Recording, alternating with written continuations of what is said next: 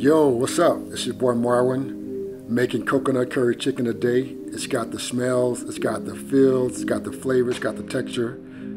Let's get to cooking. We're gonna add flavor at every step. For me, that starts with choosing bone-in chicken. There's just more flavor around the bone. Once you got your chicken chopped up, skin removed, you can start adding the marinade, citrus lime juice, onions, scallions, peppers, fresh herbs like thyme, spices, paprika, allspice, salt and pepper. Just gonna mix all of that stuff up, get the flavor right up front, let it marinate overnight, and then I'll be ready to start cooking tomorrow.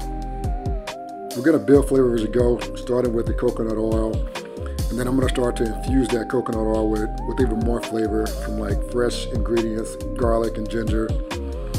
And then I'll add uh, the flavor from a whole Scotch bonnet pepper. You can use habanero if you choose. A little trick I learned.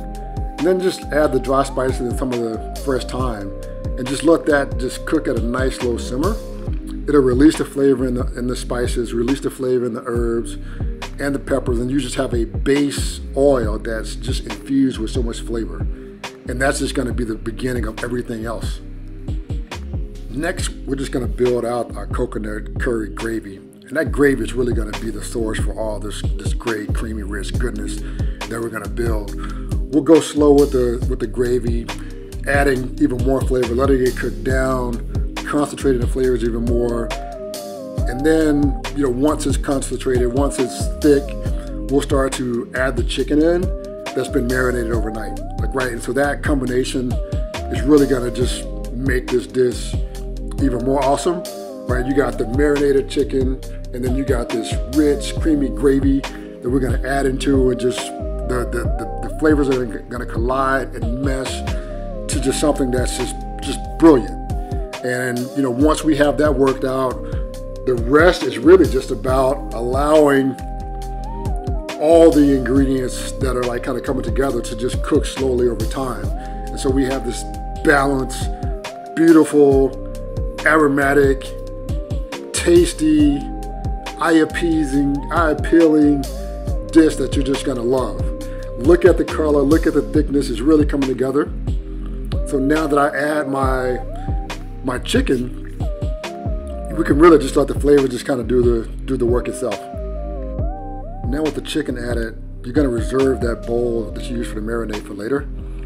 Just allow the chicken to sit in the gravy undisturbed, covered for about 10 minutes. It's gonna brown, you know, the one side of the chicken, which is what we want, add even more flavor. Now I'm just gonna flip the chicken, let it cook a little longer, maybe another 10 minutes. And then I'm gonna add water back to the pan mixed with some of the, the marinated chicken residue. And then once that's done, I may cook it a little longer. I'll start to like check, you know, some of the pieces a little bit to see, you know, how far, how much more cooking I have to go. I think these can stay on a, little, a few more minutes. And so, you know, after giving them a quick look, I'm gonna let them cook just a few minutes more. And then go from there. And I'm checking for a few things. I mean, one, you know, obviously I want to make sure the chicken's cooked uh, well done. Um, as well as also have a gravy that's like thicker and concentrated. There's gonna be some leakage from the chicken in terms of like the, the juiciness. And so that gravy is gonna get thin a little bit, but you don't want it too thin.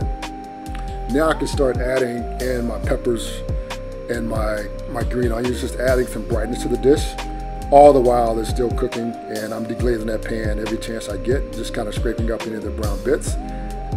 Adding more flavor to the, to the final dish is kind of the goal here. For the final, I just let it cook down uncovered. That reduces the liquid. Dish is ready. I can serve it up with, with a side of rice and peas, Jamaican cabbage. Take a look. It's got color. You can smell it. You can see it. The flavor's there. Also tender. Just soaking up all of that flavor from the coconut curry.